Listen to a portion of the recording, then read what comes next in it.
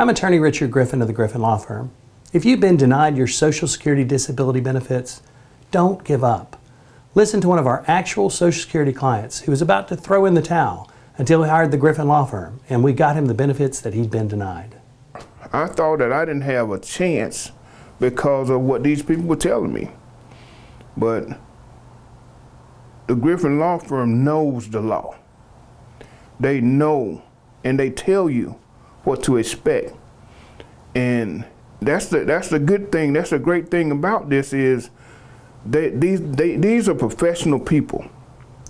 And they understand that the quote unquote little man doesn't always have to end up on the bottom. He can end up on top. Griffin Law Firm, good people, great results. Call us today for your free consultation at 877 Pain Law or visit us at 877painlaw.com.